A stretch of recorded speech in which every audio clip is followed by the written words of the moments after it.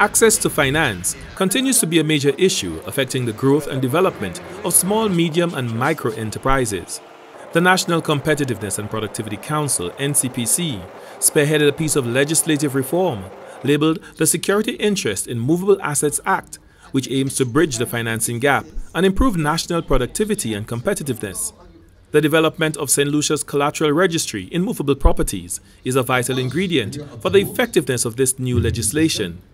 Elaine MacEachern is the global specialist for secure transactions and asset-based lending with IFC's Financial Institutions Group. She explained the significance of the collateral registry, particularly to the banking and legal sectors.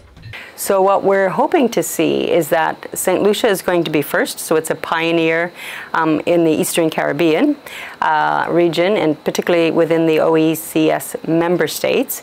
And so because they're going first, because St. Lucia is going first, um, we really hope that the other member states will come on board over the next number of years and that there can be a lot of learning and economies of scale that can result in the region benefiting that from that reform.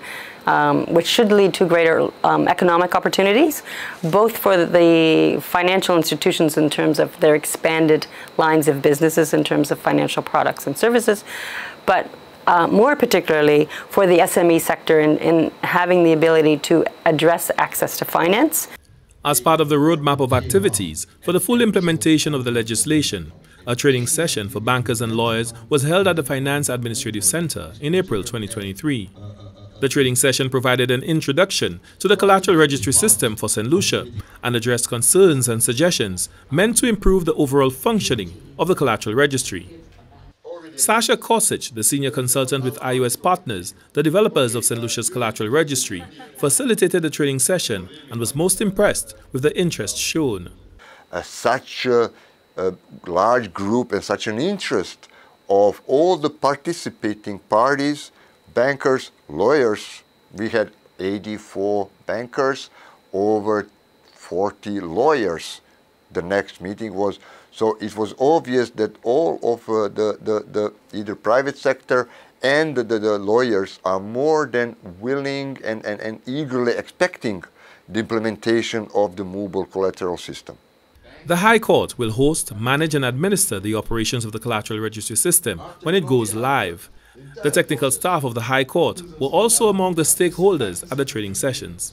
I have no doubts they will be more than capable to take over the full uh, uh, responsibility for the operation of the mobile collateral system. Director of the NCPC, Lisa Flora Montoute, said the NCPC remains focused and resolute in ensuring the proper and effective implementation of the legislation, and in particular, the rollout, sensitization, and utilization of the collateral registry, which is germane to the Security Interests in Movable Properties Act. The collateral registry is really one that is beneficial to small, medium um, enterprises in St. Lucia in gaining ease of access to financing for their businesses in order to increase their productivity.